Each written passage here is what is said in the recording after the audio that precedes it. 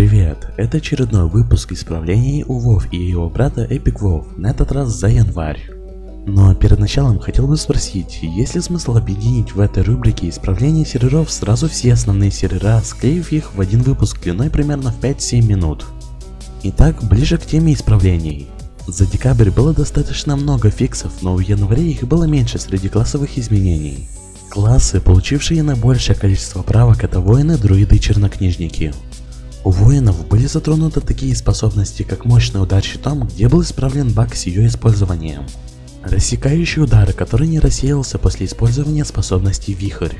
И также были переписаны некоторые эффекты способностей, в этот список попали обновленная ярость, месть и несколько других способностей. У друидов такие спеллы как тревожный рев больше не будут выбирать в таргет питомцев игроков. Также у друидов был исправлен баг с срабатыванием способности рев толпы. Ну и еще было реализовано два новых символа для друида.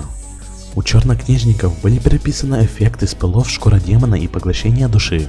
Также была исправлена механика, которая включала себя в ошибки с поглощением урона для игрока и для его питомца. Ну и чернокнижники со спелом колдовство получали щит в размере 20% от нанесенного урона вместо 10 оригинальных. Теперь об общих правках.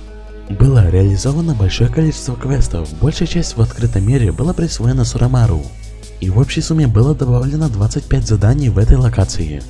Но это еще не все, было исправлено большое количество обычных локальных заданий на расколотых островах, и чуть меньшее количество в подземельях.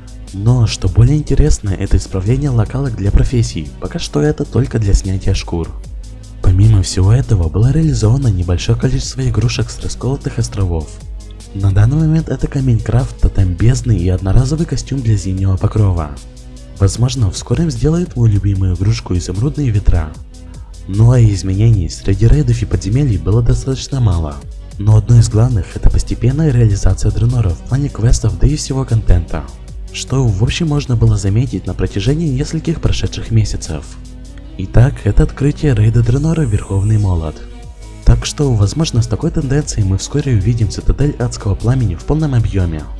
Ну а на данный момент это последнее исправление. Благодарю за просмотр. Удачи!